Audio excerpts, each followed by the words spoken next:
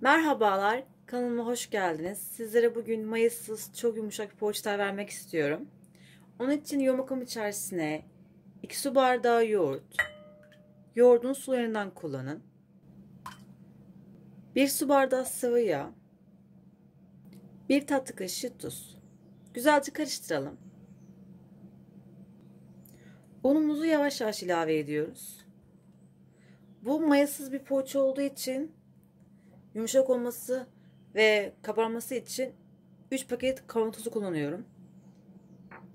Bu poğaçaya 3 artı 3 artı 1 de diyebiliriz. Eğer kabartma tuzu size fazla geliyorsa 2 paket de kullanabilirsiniz.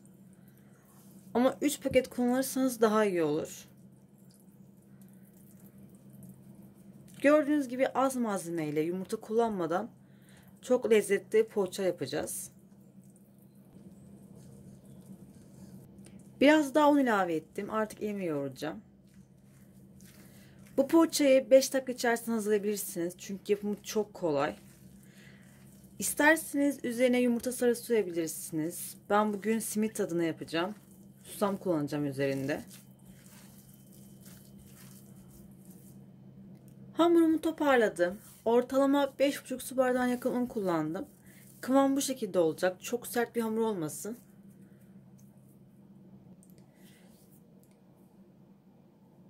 Susamı bulamak için 2 yemek kaşığı pekmeze, yarım çay bardağı ılık su kullanacağız. Ben arasında kaşar rendesi kullanacağım. Siz isterseniz beyaz peynir kullanabilirsiniz. Hamurumuzdan mandalina büyüklüğünde parçalar kopartarak elimizi düzeltelim. Ve bu şekilde fazla şekil vermeden tahtada açalım. Tam ortasına kaşar rendesi koyacağım. Ve bu uçlarından toparlıyorum.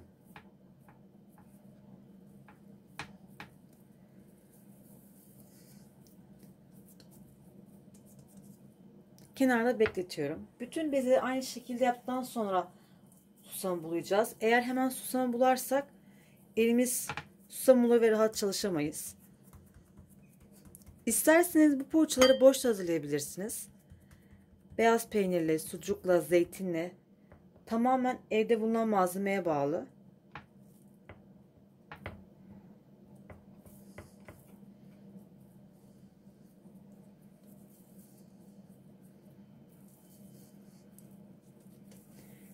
Diğer poğaçalarımı da aynı şekilde tamamlıyorum. Poğaçalarımı tamamladım.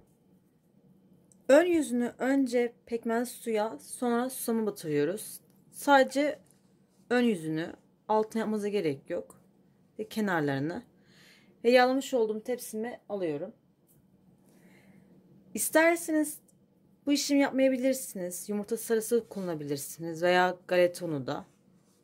Tamamen isteğe bağlı ve evdeki malzemelere bağlı. Tepsiye koyduktan sonra çok hafifçe bu şekilde bastırın.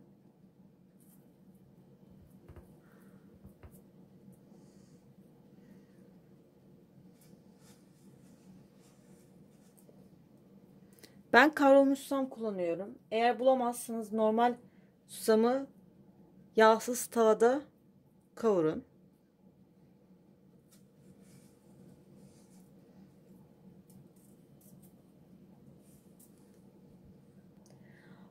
Poğaçalarımı tamamladım. 180 derece fırında üzeri güzelce kızarana kadar ve kabarana kadar pişirmeye gönderelim. Poğaçam şu an fırından çıktı. Yumuşacık gördüğünüz gibi ama daha yumuşak olması için üzerine tezbih örtü örterek 3 dakika dinlendiriyorum. Bir tane poğaçamı size yakından göstermek istiyorum. Görüyorsunuz yumuşacık oldu. İçte bu şekilde. Şimdiden de ineceklere afiyet olsun. Kanalıma abone olmayı, bildirimleri açmayı unutmayın. Farklı videoda görüşmek üzere.